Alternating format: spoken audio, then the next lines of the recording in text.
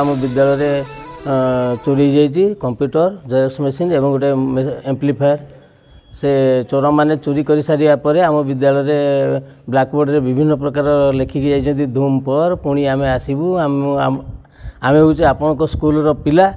ଆଉ ସେ ଚାରି ପାଞ୍ଚଟା ନମ୍ବର ଦେଇଛନ୍ତି ସେ ନମ୍ବର ଭିତରେ ମୋର ନମ୍ବର ମଧ୍ୟ ଅଛି।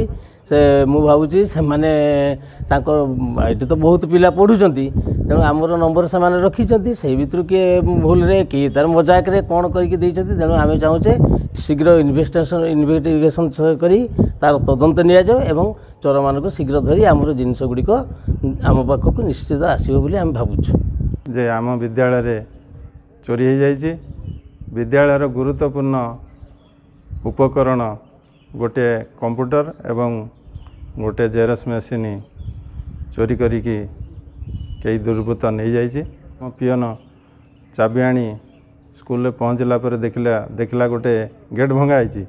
ତାପରେ ଅଫିସ୍ ରୁମ୍ ଦେଖିଲା ଅଫିସ୍ ରୁମ୍ ଭଙ୍ଗା ଯାଇକି ଅଫିସ୍ ରୁମ୍ରେ କମ୍ପ୍ୟୁଟର ନାହିଁ କି ଜେରକ୍ସ ମେସିନ୍ ନାହିଁ। ସେ ସଙ୍ଗେ ସଙ୍ଗେ ମୋତେ ଫୋନ୍ କଲା। ମୁଁ ସଙ୍ଗେ ସଙ୍ଗେ ଆସି ସ୍କୁଲରେ ପହଞ୍ଚି ଦେଖିଲି ପ୍ରକୃତରେ ବାହାର ଗେଟ୍ ଭଙ୍ଗା ହେଇଛି ଭିତର ଅଫିସ୍ ରୁମ୍ ଗେଟ୍ ଭଙ୍ଗା ହେଇକି କମ୍ପ୍ୟୁଟର ମେସିନ୍ ନାହିଁ କି ଜେରକ୍ସ ମେସିନ୍ ନାହିଁ। ଅନ୍ୟାନ୍ୟ ଉପାୟ ନ ପାଇକି ଆମେ ଥାନାକୁ ରିପୋର୍ଟ କରିଥିଲୁ ଲିଖିତ ଦେଇଥିଲୁ।